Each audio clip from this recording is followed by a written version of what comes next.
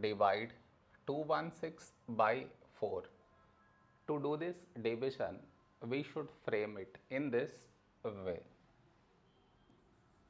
216 here, 4 here. This is your step 1. Next. Here we have 2, here 4. 2 smaller than 4. So we should take two numbers 21.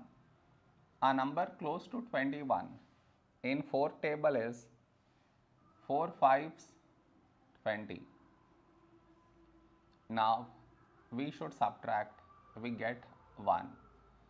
After this, bring down the beside number. So 6 down. So 16. When do we get 16? In 4 table. 4 fours 16. Now we subtract, we get 0. After this, no more numbers to bring it down and we got remainder 0. So this is our quotient